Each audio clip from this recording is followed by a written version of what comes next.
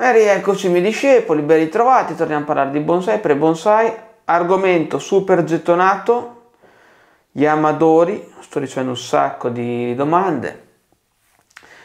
Eh, vi dico subito, faccio fatica a rispondere tutti su WhatsApp, quindi chi non sta ricevendo delle risposte, ragazzi, chi ha fretta, c'è il servizio Masterclass, ok? Quindi su YouTube, dove ci sono i miei video, c'è la casellina abbonati, cliccate se avete fretta, bla bla bla perché come avete visto, non per tirarmela, siamo arrivati a 15.000 iscritti su YouTube. Provate a pensare al numero 15.000, ok? Se soltanto l'1% delle persone mi scrive al giorno, sono 150 messaggi che mi arrivano su WhatsApp, quindi potete capire che diventa abbastanza complesso, soprattutto quando si risponde, perché dopo c'è, c'è sempre un'altra domanda. Quindi eh, che cos'è quello? È quello. Ah, visto che ci sono. no? Eh, come cazzo si fa? Eh, torniamo noi. Visto che molti stanno scrivendo quando è il periodo per raccogliere, cosa raccogliere, quali sono le piante, come devono essere e soprattutto come si fanno a sistemare i difetti sulle piante raccolte, perché ovviamente eh, piante che raccogliamo in natura, ragazzi, c'è sempre un perché. Magari abbiamo culo, prendiamo qualcosa di valido, però molto spesso non abbiamo quello che, che, fa per noi, semplicemente perché Madre Natura non pensa alle nostre idee da bonsaisti, no? quindi i rami nascono da, da, posizioni che non ci servono, il fronte spesso ha dei difetti esagerati, il piede molto spesso non, non si trova nella posizione giusta, eh, ci sono fittoni che vanno molto lontano, quindi le radici quelle buone partono da molto lontano la pianta. Quindi come possiamo fare per raccogliere queste piante? Primo, ovviamente ragazzi per quanto riguarda le tempistiche, so che avete una scimmia della Madonna, so che siete già lì con i picconi, con, le, con le, le, seghe, so che siete lì già a mani nude a strappare agli alberi. Regola 1, ragazzi, non si può fare, cioè se, se, il, se il terreno non è il vostro, non si può fare, semplicemente non rompete i coglioni, non si può fare, ok? Non si può andare a raccogliere in giro le piante. Primo, secondo, terzo, primo perché ovviamente, soprattutto se siete in, nel parco forestale, nei, nei, parchi, non si può assolutamente toccare le piante. E poi se, tro- se, vi trovate pure in un, in un, terreno privato, quindi un'altra persona, a maggior ragione che non, va, non, ne vale più la pena di andare là a iniziare a fare casini, eh, a meno che non, abbi- non abbiate il consenso, quindi avete chiesto il permesso alla persona. Quindi se avete, se avete un amico se andando in giro trovate qualche pianta che vi piace, vedete che c'è una casa, secondo me, buona cosa suonare il campanello e dire, oh ragazzo mio, io sono un bonsaista, posso portare via quella pianta lì, ti dà fastidio, posso prenderla, questo perché?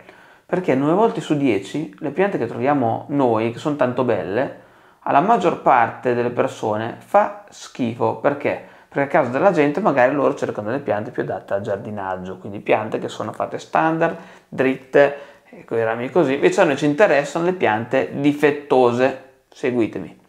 Piante difettose cosa vuol dire? Piante che hanno delle strane forme che magari non, non si addicono poi a piante ornamentali da tenere, comunque piante di presenza in un giardino. Quindi molto spesso anche, se andate nei vivai, vivai normalissimi, piante che loro magari buttano via, possono essere considerate piante buone per noi. Quindi molto spesso piante che hanno dei difetti grossi e le troviamo a un prezzo anche ragionevole. Questo perché semplicemente il, vivai, il vivaio, il vivaista, non ragiona come un bonsaista, se lui deve vendere al dettaglio una pianta normale a delle persone normali, ok? Siccome noi siamo scemi, siamo bonsaisti, allora vediamo tutt'altro. Io, ad esempio, vedo delle piante, vedo dei rami dove non ci sono, che ne so. Eh, punto fondamentale, quando si raccoglie una pianta, perché mi state chiedendo tutti questa cosa qui, quanto terreno devo togliere quando vado a raccogliere la pianta? Cazzo, cioè, bisogna vedere come si è messi, cioè bisogna tirare su e vedere come si è messi dietro. Perché? Perché se tirate su un alberello, un albero, quello che è, e vedete che i capillari sono tutti lì attaccati al tronco, che escono tutti così, si può tranquillamente portare via pulire, non dico, non dico portare la radice nuda, tenete un pochettino di zolla, bene o male, male non fa, però buona cosa perché potete già mettere una pianta in un vaso, in un contenitore che non è gigantesco, ok? Fondamentale. E anche per quelli che mi stanno chiedendo quanto deve essere grande il vaso per quando si raccoglie la pianta, fatti vedere, fatti vedere due secondi. Ah, eccolo qui. Eh, quanto deve essere grande sto, sto cazzo, sto vaso, eh Magagna? Diglielo a te. Eccoci.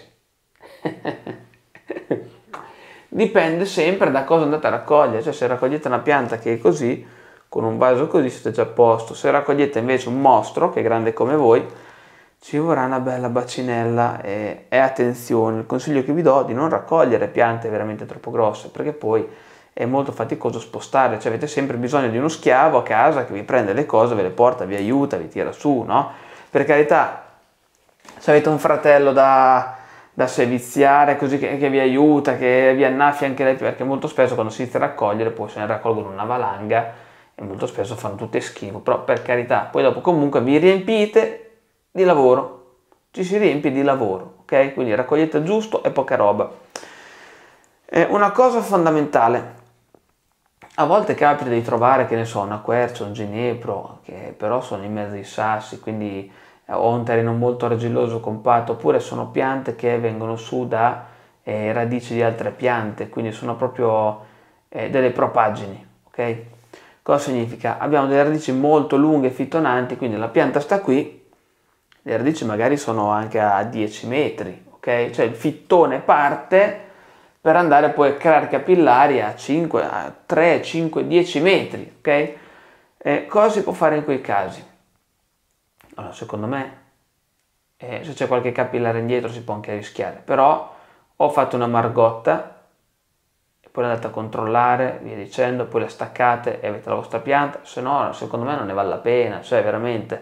Oppure valutate se sono ginepri il fatto che la radice fitonante può diventare proprio il tronco della pianta, ok? Che è molto, molto interessante perché molto spesso ci sono questi ginepri che vanno giù, vanno giù come delle bisce, alla fine c'è la radice lontano un, un tridello di metri, però buona cosa che si può raccogliere tutto, si fa attecchire, poi l'anno dopo, tac, tac, tac, tac, tac, tac, tac, tac, tac, pianta compatta, super dinamica e le radici partono subito lì. Cosa, cosa abbiamo fatto quindi? Semplicemente abbiamo, abbiamo compresso la pianta quindi abbiamo creato un albero nuovo. E questa cosa qui sulle conifere, quindi tasso, ginepro, si può fare tranquillamente, quindi attenzione. Però ovviamente ci vogliono delle piante che hanno elasticità ci vogliono piante che sinceramente si devono prestare proprio questo lavoro qui, cioè se trovate un olmo e iniziate a fare tutte queste pieghe, eh, eh, cazzo no, dai, fa schifo, dai, non va bene, ok? Quando operare? Qual è il periodo migliore? Molte vanno anche eh, ottobre, novembre, vanno a tassi, ah, andiamo a tassi, andiamo a, andate dove vi pare. Secondo me la cosa migliore è andare a raccogliere verso fine febbraio, ok? Come se fosse un rinvaso Cosa fare appena avete raccolto la pianta, visto che molti arrivano, ah devo imbustare, devo, devo mettere il francobollo, devo... Allora, ragazzi, vi dico la verità, non ho mai imbustato una pianta in vita mia e ho sempre avuto degli ottimi risultati. Questo perché? Perché le piante che raccoglievo erano piante già che stavano bene di partenza, quindi attenzione, non andate a raccogliere le piante che stanno per morire, perché quando le raccogliete e le mettete, eh, è ovvio che, che, staranno lì per lì a, cercare di organizzarsi e moriranno, ok? Quindi so che vi piace il materiale che sia sofferente, che è, è drammatico, però una pianta che sta per morire è inutile raccogliere perché morirà. Quindi piante che sono in forma, che hanno tanti rami, bel fogliame, rami tosti, grossi, tronco, tanti capillari, e siete tranquilli, ok? E quarto, non lo so. L'asso di briscola è metterle subito in substrato specifico. Questo perché? Perché se iniziate a fare lavori, che ne so, tirate sulla pianta, la mettete nella torba, è acqua, è una pappa, una merda, un, una colla esagerata che non asciuga mai, la pianta morirà per asfissia radicale, ok? Non è colpa dei funghi, è colpa vostra che avete utilizzato un substrato che non funziona bene per quello che dobbiamo fare noi. Eh, un'altra cosa che è fondamentale, abbiamo raccolto la pianta, substrato specifico, dovete cercare di bilanciare eh, la chioma con le radici che abbiamo sotto. Okay? Questo perché? Perché se abbiamo troppe radici e poca chioma va bene perché comunque sia butterà fuori. Se invece abbiamo molta chioma e poche radici, c'è caso che la pianta abbia degli squilibri idrici, quindi c'è caso che non riesce a dare da mangiare con le foglie che ci sono sopra. Quindi cosa succede? Il materiale si disidrata perché l'evaporazione è molto, molto ampia rispetto poi all'acqua che può bere la pianta. Quindi in quel caso lì, ascoltate bene, in quel caso lì, buona cosa, nebulizzare la pianta, ok? Perché chiudendo i pori delle foglie si crea più umidità e quindi trattiene più acqua la pianta, quindi butta fuori meno, il terreno magari asciuga eh, meno velocemente. Ok, quindi in linea di massima, pianta appena raccolta che ha difficoltà a pane radicale, nebulizzate, tenete umido tutto. Questo può equivalere, può essere la stessa cosa come quando andate ad imbustare. Piante che hanno difficoltà si imbustano per mantenere più umidità, ok? Quindi o fate quello oppure spruzzate ogni tanto un po' d'acqua così sulle foglie. Un altro osso di briscola, ragazzi, tenere le piante all'ombra almeno 6, 7, 8 mesi, ok? Poi se vedete che aggrappano, che stanno bene, e aggrappare a star bene vuol dire aspettare finché è settembre, agosto, settembre, cioè se la pianta a giugno mi fa la sparata fa le foglie, non significa niente ragazzi, ok? perché quello lì è il residuo che c'era l'anno scorso. Poi se la pianta grappa, sta bene, funziona, a quel punto terrà su tutto quello che avete che ha fatto. Se invece non ha funzionato, perché molti mi chiedono ah, quanto tempo ci vorrà per vedere se la pianta vive o muore, ma chi se ne frega? se una pianta vive, vive, se una pianta muore, si morirà. Ok, non state lì tutto il giorno a contare i giorni, ah, oh, il quinto giorno, mm, adesso. Ragazzi, tranquilli quando la pianta va per morire, muore, secca tutta e muore. Tranquillo. Ve ne accorgete se la pianta muore e ve ne accorgete anche se la pianta vive. Ve lo posso garantire. Meno che ancora, ancora siete proprio all'inizio, che non capite che una pianta è secca, allora la guardate e grattate. Ah, ecco, un'altra cosa che non va fatta ma, ma, perché dovete andare a raschiare i rami con, con, un coltellino per vedere sotto se è vivo, se è vivo? Ma che cazzo vi serve? Cosa serve andare a, a, a fare delle ferite su una pianta? Ah, se è morta potete raschiare quanto volete, tanto morta. Se è viva, che cazzo raschiate? Che poi fate delle ferite, che comunque vi, vi rimarrà una cicatrice, comunque non va bene, no? E quindi vi consiglio che vi do di non fare questi lavoretti che fanno tutti, che fanno tutti. E ultima cosa che è importantissima secondo me, bisogna aumentare fin da subito la radicazione della pianta. Cosa vuol dire? Quando raccogliete ci sono poche radici, prima ne fate e più ne fate e prima avete la pianta salva. Ok? Come si fa a fare le radici? Con C4 Bionic e Krypton e Nanotech e Biodopet. Questi sono i quattro prodotti dati insieme nella fase primaverile anche di raccolta Ragazzi, C4 vi farà allungare rami e farà allungare anche le radici a bomba. A bomba. C'è un botto di fosforo, è una bomba, c'è pure l'azoto, è una bomba, fa allungare tutto, ok? Non siamo volgari, per favore. Però funziona, è una bomba, ok? Eh, e per oggi siamo a posto, grazie mille, sono stanchissimo.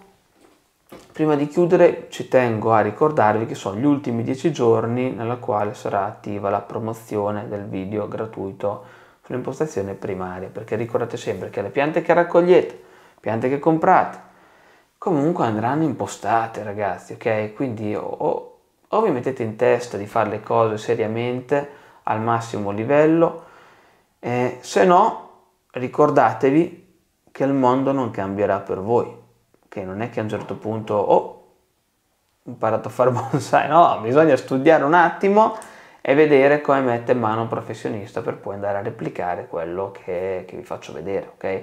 Quindi quello che vi faccio vedere io ragazzi lo dovete fare pari pari con quello che avete. Ovviamente il video, il video non ci sarà più, dopo ottobre non ci sarà più ragazzi, tranquillo, ve lo posso garantire, lo tolgo, non ci sarà più, non, lo, non sarà neanche più, neanche con 100 euro lo prendete, ok? Non c'è più e quindi fate adesso così dopo poi ad ottobre vediamo magari faccio un altro video ancora più importante però ovviamente questo con l'impostazione che vi faccio vedere è la base delle impostazioni primarie, la base veramente per imparare a fare bonsai, ok? Perché ho stile retto formale, la pianta il piede, faccio vedere la profondità, i primari, l'apice, tutto, ok?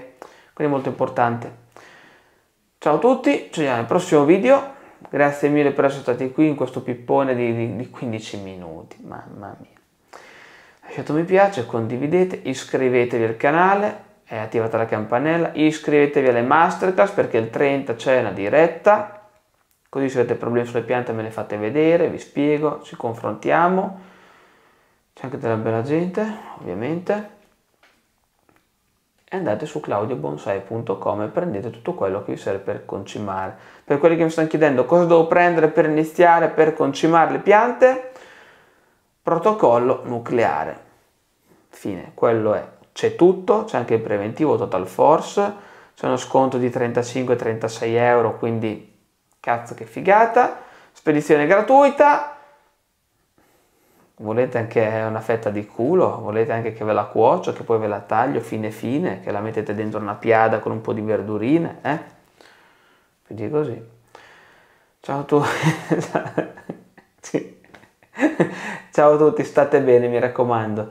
Ci vediamo nel prossimo video, grazie mille.